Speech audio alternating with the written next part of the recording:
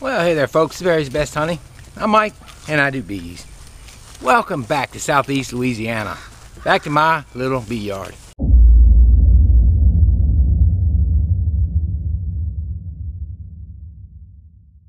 All right there, folks. I am walking out here. I got some inspections to do. Um, just trying to keep ahead of swarming. Big time, big time swarming this time of year. So it's hard to do, and I'll tell you more about that. But I'm gonna put a queen cell in one of these nukes I pulled off of some colonies, a colony yesterday. So let's take a look real quick. See if we can get a cell in here. I grafted some cells and got a dozen or so, and uh, I'm gonna load them up with a cell. Because I already had a cell protector using it to stand up in the incubator, I went ahead and just left it on there. Most of the foragers should be gone. It came from right over there, but let's go ahead and it's a should be a good amount of bees. I, I, I popped them pretty good, just like I did in that one video where I took some numbers away. It's a beautiful day. The temps are in the 60s, low 60s, so I do want to keep this cell a little bit warm. Um, be careful with it. Well, look at them come out of there. This pile of bees. I shook some bees now. But what I'll do is I'll let them see how well they do as far as the queen goes and I'll sell it. One thing I don't like about these Pro Nukes is, uh, the outside frames, once you slide them past that little stop, they don't like to go far in the bottom. There's like notches down there that hold them up. So we're gonna nice frame of brood right there. Let's set this down. I should already started making cups, I'd imagine. I'm gonna put it on this next one, right on the inside. So we'll pull it out right, boy, they're full. We'll stick it right here. I'm going to stick this cell right about here. I like putting it down in the brood, just like it's their cell they made. And we'll put it in here. There we go. These cells are about four or five days, should be four or five days from emerging. They're kind of early. Um, which is, I read an article on putting cells in early, early, early. An article I read years ago, and there's some proponents and some people that say no. But these aren't terribly early. The article I read was putting them in like 10 days out. Alright, that'll be good a few things I don't like about the Pro Nukes. I like the portability of them. I like that they got different colors, and I got I can kind of use that as a way for orientation for the new queens. But about the only thing is is they don't close good. They'll squish bees if you're not careful. And that notch in the bottom. All right waiting for queens on those two little nukes. That 10 frame has got a queen. That was a, another colony that wanted to swarm, so I pulled her down off of that colony, left them to make cells. They're, they're a colony that was already split this season. Okay, this is how long our season can be. This colony here, this, this one here, I pulled them in a five frame, and I'll have to, of course, had to put them in a 10 frame. The colony was in a double deep. It was one of the splits I made, and I had to split on top. I went in to check, and it was full both the split and that one. And this one had built swarm cells. Had started building swarm cells. So what I did was I went ahead and yanked the queen, found her, pulled her out, pulled five frames out, took some bees. Of course, the foragers went back next door, and I put her in here. Left the split on top, figuring, well, I can just recombine real quick, and that'll be easy enough. And then I've got the queen. I can make a production out of this too. I never did go back and do that. I actually harvested cells out of it. But I'm afraid it's been a long time now. They're liable to go ahead and have swarmed by now. So who knows? I'm gonna look at them today. That's one of the things I'm doing is pulling my splits off the tops of the colonies and putting them in their new locations. Let's do look in here real quick. I wonder if uh, if they're I, I need to give them some drawn comb. I imagine. I wonder if she doing anything with if they're drawing out any comb yet.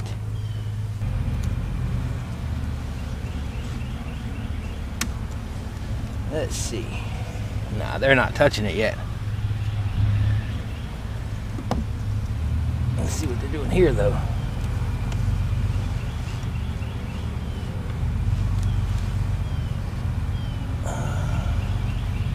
I don't have my glasses, but I don't see them filling it up with nectar, so. Yeah, they still got plenty of open space. Anyway, that's what this one was all about. It's got a lot of stuff spread out right now.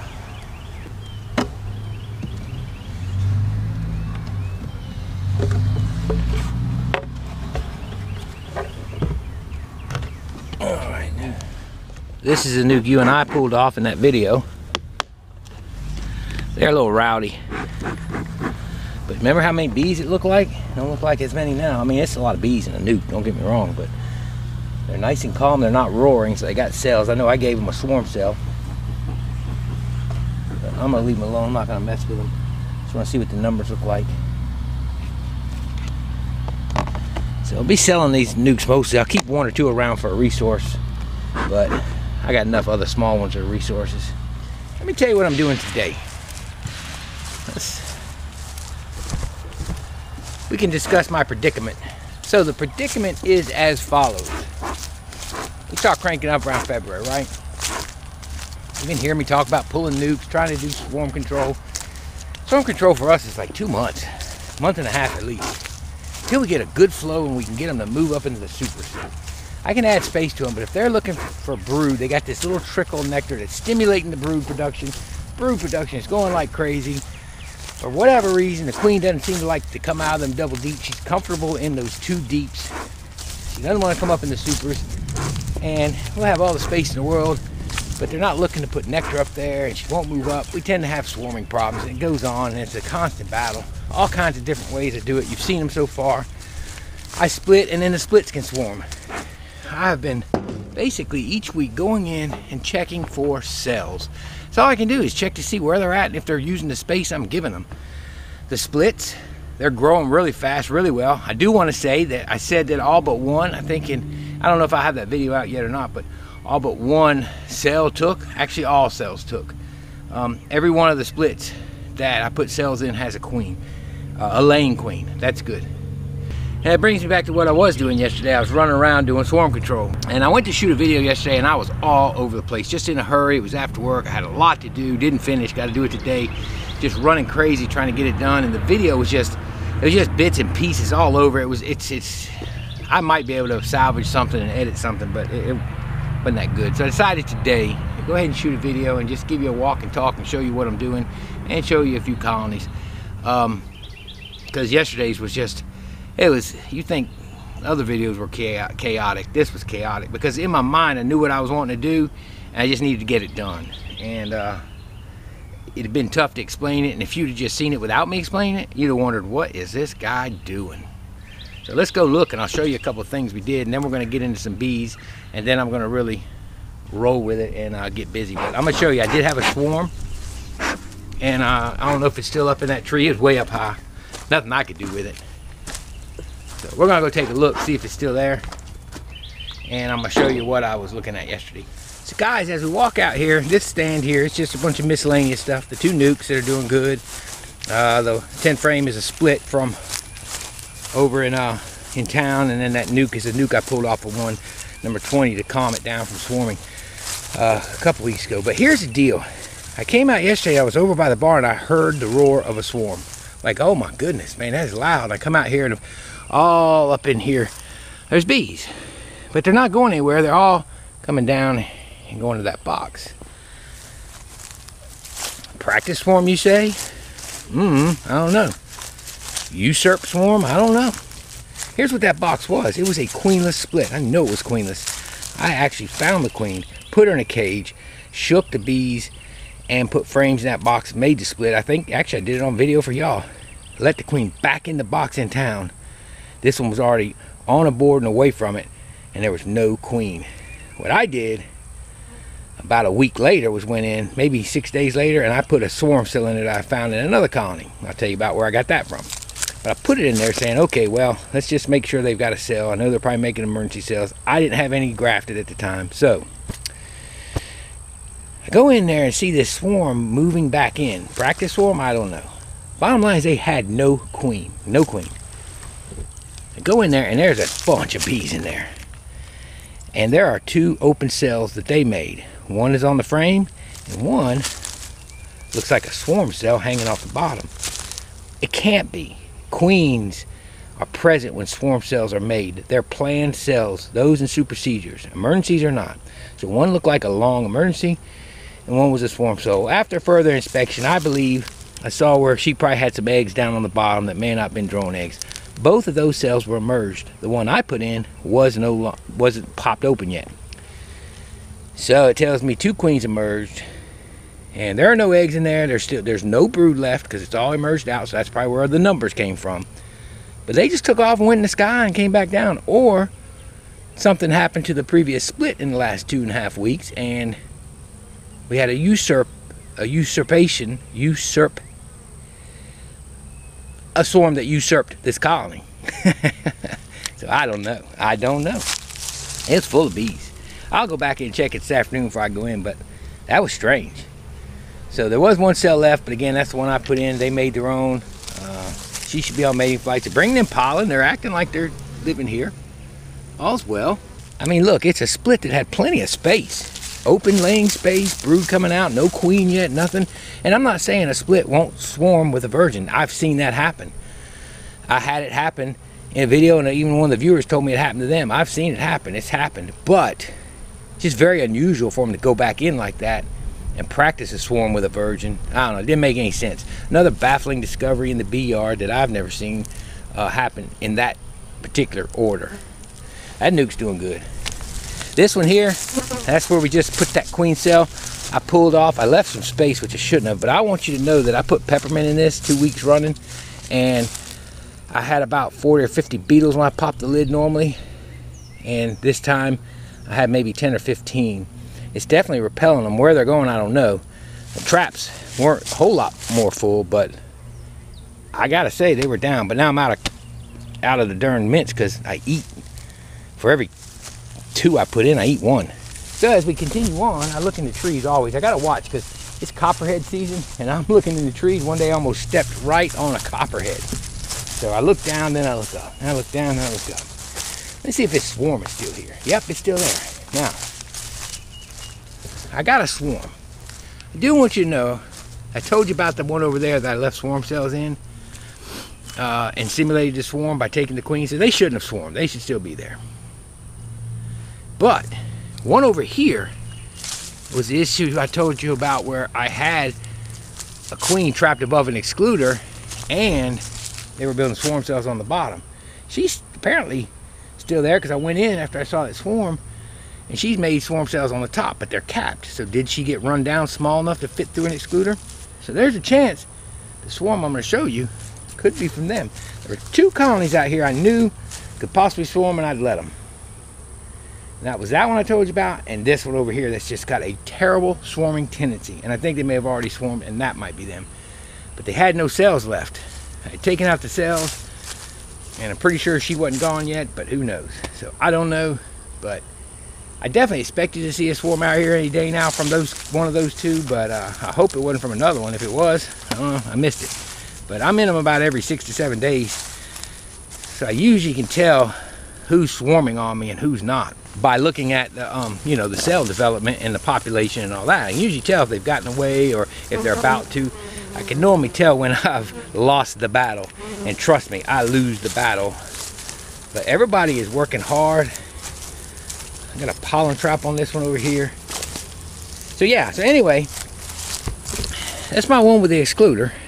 And it's got cells in it. I also was harvesting cells from that because I hadn't grafted yet and I needed to pull nukes. I knew I did and I'd rather have cells in them if I can. It's just faster. Maybe by four or five days depending on the cells or if I graft by about two weeks. So if I can plant it. So what else did I did? I added supers to everything. I gave them space. I crushed cells and added supers. That's the only one that I added supers to that those bees have abstained from building cells. Now I don't know what's going on in town, but that's how it works. And anytime I pull a nuke, obviously I have to replace the frames with drawn so I can have space. But I mean, so my splits, I did take my splits down, except for these over here. We got to take those down today, and that's what I'm to show you. I'm to take those off and see how the bottoms are. Because here's your double screen. Here's your colony in the back. Here's your double deeps. One of these, right over here, was in that same configuration, number six on the very end here. And it, oh, I got to pull uh, entrance reducers today too. But this one literally had the the double and then the board on top. This thing and one next door was already preparing to swarm again. So here's what I did. I took off the single that had the new queen in it, brand new queen. I dropped her down to the bottom board in the original location, put a second deep on with space, cracked the back for all the returning workers from this particular, you know, you can see them where they're going, they're looking for the entrance from the split time. And then took the double deep original and put a super on it and stuck it there. I basically took all her foragers away, made sure she had no cells in there, moved her over, and now the forager's over here. Kinda sketchy to do that because that's a brand new queen, just started laying about a week ago. But hopefully they accept her because she's already established. I came up with that space because that's where that mysterious video from way back where I found that queenless colony that had cells in it. And they had built those cells I said looked like they came off a drone comb. Yeah, those cells were duds. So that's probably what happened. They weren't swarm cells. They didn't swarm. They, that was the queen I lost at the very beginning of the season. And they never requeened because they just couldn't. So I combined them, just slapped them on top. And yes, I do use newspaper. And yes, I know you don't have to, but I do and I still will. And I always will. As long as you can get it. It's getting hard to get. So that's a split. It's a production with space. That's a split with a brand new queen. Should be production. Everybody should be set right now. That's kind of a walk through the bee yard in a nutshell and where we're at. There's space being added. There's swarms trying to happen. There's swarms that have happened. Did I show you that? I didn't show you that. Now this is the GoPro. It doesn't zoom, but you can see it up there. It's not a huge swarm. That's why I'm wondering where it came from number 16. It's very, it's, it's, I guess it is kind of big. It's not quite a soccer ball. So yeah, it's probably decent size. I'd say it's a couple pounds, maybe a pound. It's not tiny, it's not huge. So where did it come from? I don't know. I don't sweat it too much, guys. I mean, I do. I don't want my productions to swarm, but in the end, you do what you can do, and then sometimes it just doesn't work. Let me go pull these spits off, and then we'll wrap it up. Just want to let you know what's going on and the things I'm doing. It's a lot of work. Keeps me young? I don't know. I don't feel like it. Let's take a look at our, our Cloake board. This is our queen rearing colony.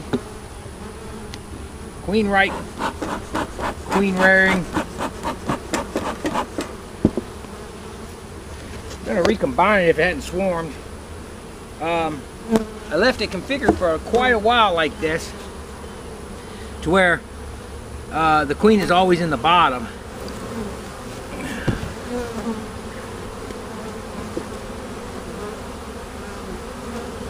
a lot of burr comb from being in this hole, but I think it's time to get her back configured and probably supered up. Matter of fact, I'll mark this one for a super tube.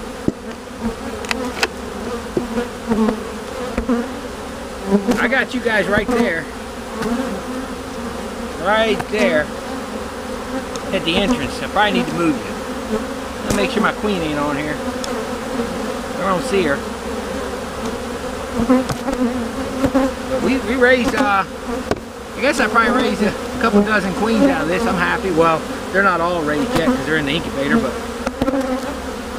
I'm pretty happy with that. So I'm going to reverse it back, get it all set back up, and get them going back in front. They're probably swarm now. Let's see. Uh, what we look like.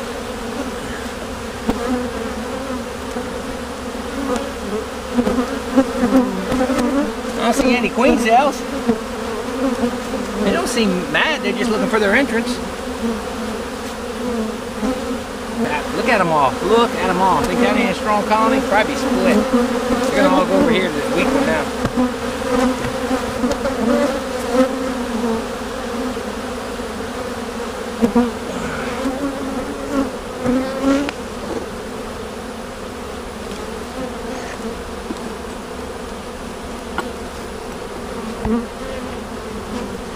mark this one for a super. How do you do that, Mike? I'll tell you how. Brick straight up, saying, go up. my son go up. Let me show you how I pull these off of there. These splits.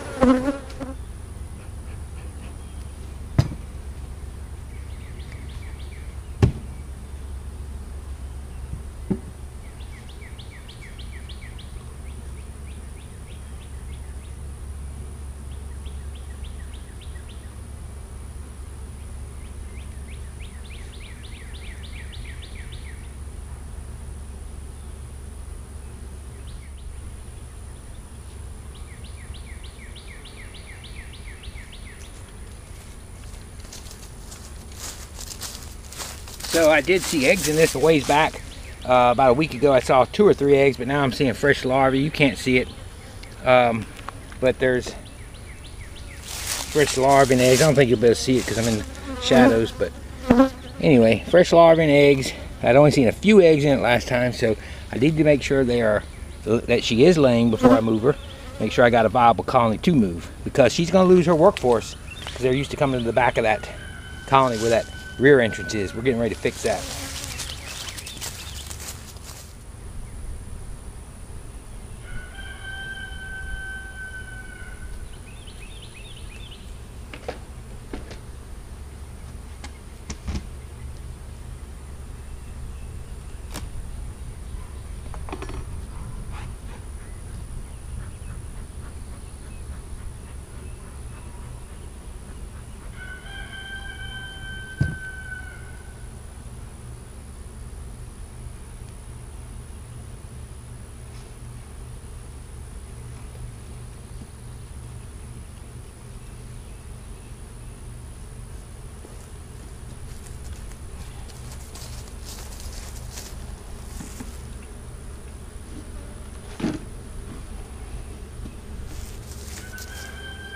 That's right, I got a few telescoping covers. Three.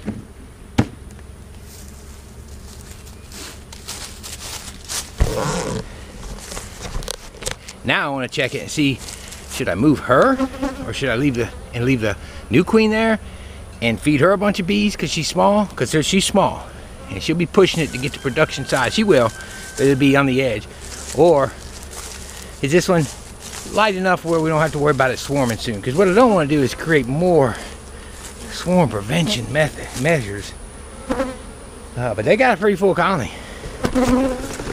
So that's what I did with one yesterday. I noticed it was just full. Well, no, I say it's they're not drawing anything, but they're drawing that out. I think. Let's look. But I'd seen one that was blowing up, and I had to move her. She'd be trying to swarm on me within a week, and she'll be fine. She's got tons of brood. Let's see what we got. First thing I always like to do, as you guys well know, is I do like to, it feels light. I like to look in the bottom. I see drone, we broke drone comb. Ooh, about knocked you and that hive over. And we're clear on the bottom. We're clear. Had some drone comb. No cells, nothing. You can see he's only about middle section of the bees. Uh, we're gonna see if they've drawn this frame any. Uh, but we're good on this one. This is a good one. This one will grow. If I can leave the queen that's performing well in the same spot, I like that. I'm not even gonna look in the bottom. I'm gonna see what she's doing at the top and I'm gonna leave her alone. I know she's good to check until next week. Week at a time, that's all I do, week at a time. Let's see what they're doing. This is Acorn. I wanna try that Premier I was talking about on the live chat. This Acorn is coming on out. She's drawing it out. She is, they are. But I'm seeing one, two, three, four, five, six frames. Yeah, we could super them. Drawing this one out real nice. And slap full of eggs. Slap full of egg. And the other side's the same way. So there you go. It's a successful split. We have stopped the swarming urge for now. We'll put them back together. That's as far as we need to go. We got two queens instead of one now. We got two colonies instead of one. And the drawn comb. It can use a super. And here's what I'm gonna do to fix the bees coming back to that rear entrance. So now I move out of the way and everybody comes back. These are the bees that were coming from the top split. And that is a drawback to this. You lose those bees, so you set them back even more. Uh, normally I would move the splits a little bit sooner uh, where I wouldn't have as many. But the reason I did it like that this time was I wanted to keep the original queen in that location and have the option of moving the new one down. And I also wanted to do the vertical splits for the cold. And so when I did all that, I had to leave it on for a little while. And once I left it on there, why I'm putting cells in, so within two or three days, she's out. I couldn't just move her. I might lose her GPS on the mating flight or something. So I left the entrances to the rear like that so I could get some good mating flights. They would identify the colonies better that way. And if I moved them halfway through while she's doing her mating flights, I might really messed up really bad. So that's kind of why they stayed on a little bit later this time. When I used to do vertical splits that were walkaways, I always moved the queen to the top. That way the new queen would go to the bottom and I could move her anytime. So little drawbacks here and there, but it worked. It's gonna put me a little further behind than I was, but here's an old cup. I'll just stick this in here. Just a little something to, usually just stick a stick or something in here.